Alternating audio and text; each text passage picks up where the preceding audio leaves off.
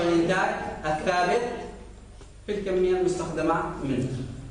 والتكلفة المتغيرة هي قلنا التي تتغير مع تغير حجم الإنتاج وترتبط بعنصر الإنتاج المتغير. وكيف نحسبه؟ سعر. العنصر الإنتاجي المتغير مضروب بالكمية المستخدمة منه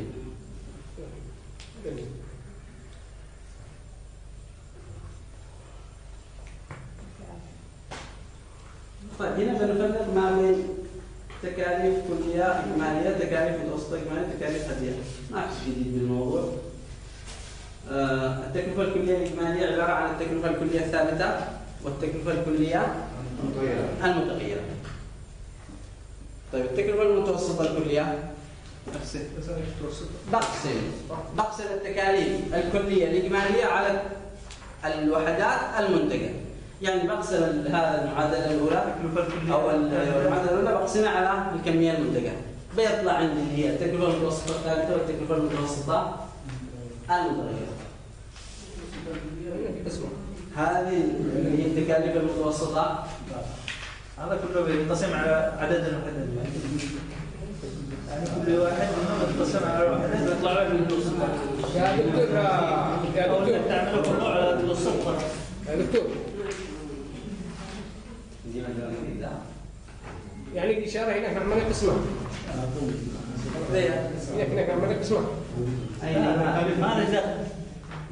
هذه المتوسطة الإجمالية لكن هذه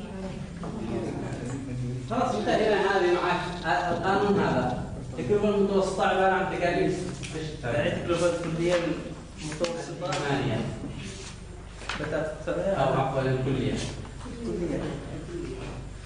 التكاليف الكلية على عدد الوحدات المنتجة هذا القانون فإذا كنت نتكلم عن المتوسطة الإجمالية بتكون التكاليف الكلية الإجمالية على عدد الوحدات المنتجة. إذا تكلمت عن التكلفة المتوسطة الثابتة التكلفة المتوسطة الثابتة تساوي التكاليف الكلية الثابتة على عدد الوحدات المنتجة. إذا تكلمت عن التكلفة المتوسطة المتغيرة بعض التكلفة المتوسطة المتغيرة تساوي التكاليف الكلية المتغيرة على عدد الوحدات المنتجة. وبالنسبة للتكاليف الحدية لحظات الدكتور الأول. ما نكتب هلا بيشرح مش نستوعب الأول عندهم عندنا ما عندي هلا أقول له والله يكتب براحته. خلي معه لا خلي اكتب براحته. اكتبوا براحته؟ يمكن نستنتج من العلاقة آخر حاجة يا دكتور التكلفة آخر شيء إيش؟ القانون الثالث. التكلفة حديث هذه؟ لا لا اللي بعديه واللي بعديه. التكلفة المتوسطة؟ أنت بعديه التكلفة الثابتة التكلفة المتوسطة المتغيرة. أيوه الثابتة بعديه التكلفة المتوسطة المتغيرة بتساوي التكاليف الكلية. المتغيرة على عدد الوحدات المنتجة تمام بعد قلت التكلفة الثابتة. نفسها. التكلفة المتوسطة الثابتة. أيوه. تساوي التكاليف الكلية الثابتة على عدد الوحدات المنتجة. أيوه بعد القانون الثالث. قال الثالث التكلفة المتوسطة الإجمالية. يساوي التكاليف الكلية الإجمالية على عدد الوحدات المنتجة. كله على عدد في عدم نصيب الوحدة المنتجة من التكاليف الكلية بنفس الآلية اللي حسبناها بالناتج المتوسط نفس الطريقة. التكلفة الحدية مقدار التغير في التكلفة الكلية نتيجة تغير حجم الإنتاج بوحدة. واحدة. لو أخذناها هذه التكلفة MC بتساوي التكلفة الحدية هذه.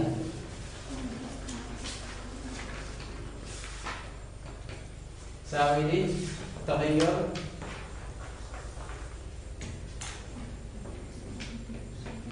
تغير في التكاليف الكلية. TC اللي هي التكاليف الكلية. على التغير في من؟ في Q عدد الوحدات المنتجة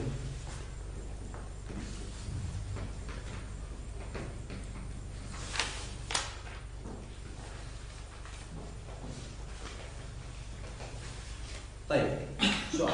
اللي مصحصح. أكيد كلكم مش مصحصحين بس برضه بسال السؤال. التكلفه الحديه هذه قلنا هي عبارة عن التغير في التكاليف الكلية نتيجة التغير في الوحدات المنتجة من السلع. فتتوقعوا من هذا اللي فوق معانا إيش الجزء من التكلفه الكليه المسؤول عليها؟ التكلفه الكليه هي عبارة عن تكاليف ثابتة زائد تكاليف متغيره. في معنى تغيير بيكون إيش؟ المسؤول عن هذه التكلفه الحديه الظهوريه هي التكاليف الكلية المتغيرة.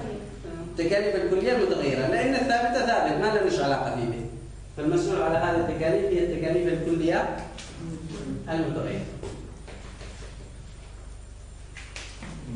صح صحيح طيب مثال كويس انه صح صحيح.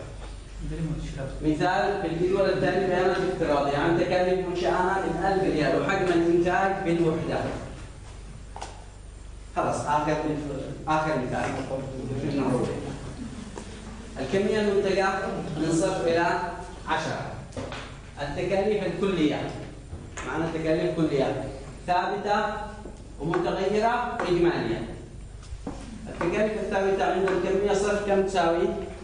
100 ومعنا التكاليف المتغيرة من الوحدة الأولى حتى الوحدة الثامنة. معطى معنا 30 45 55 61 65 69 و75 75 ومعنا التكلفة الكلية الإجمالية.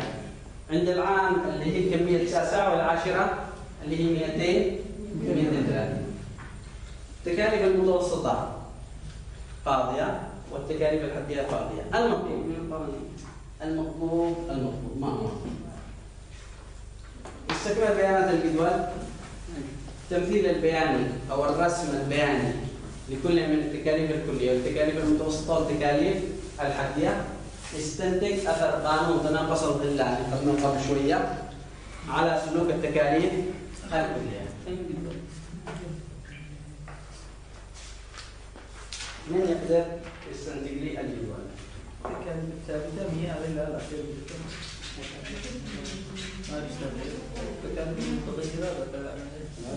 ها اشغال العهد. التكاليف الثابتة بتعرف الجدول 100 في الدولار. التكاليف الثابته قلنا انها ما تتغيرش بتغير حجم الإنتاج. يعني الاجل القصير تظل مهما أنتج تظل ثابت لأن هي تكلفة عنصر الإنتاج الثابت. فطالما انه عند الكمية المنتجه صفر معانا هنا ثابته 100 معناته الرقم 10 بتظل الكمية كم؟ الإجمالي بتبقى 130 100 هذيك 100 العمود الأول هذا العمود الأول عند الثابته خلوا كله 100 هو العمود؟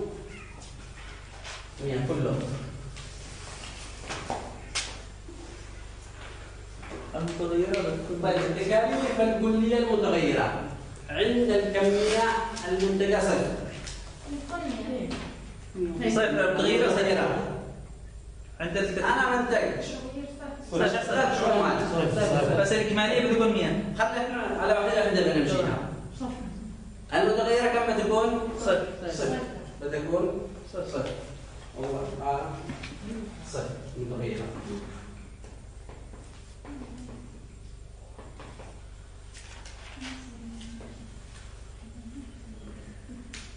طيب معك 30 45 توصل لعند تسعه التسعة هذه كم بتكون التكلفة المتغيرة؟ بشوف بعين- الإجمالية بعين إجمالية التكلفة المتغيرة عند معك إجمالية كم بيكون؟ الإجمالية الإجمالية ناقص 15 ها، 200 ناقص 100 لا تكون 100 15 200 ناقص 100 700 بيطلع 100 بيطلع كم؟ 100 100 وهذيك 230 ناقص 100 بتطلع 100 لأنه بيكون عندك هنا التكلفه المتغيره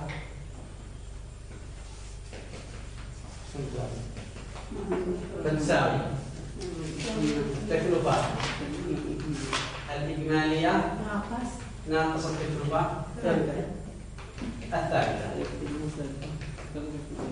وبيكون عندي اللي هي كم؟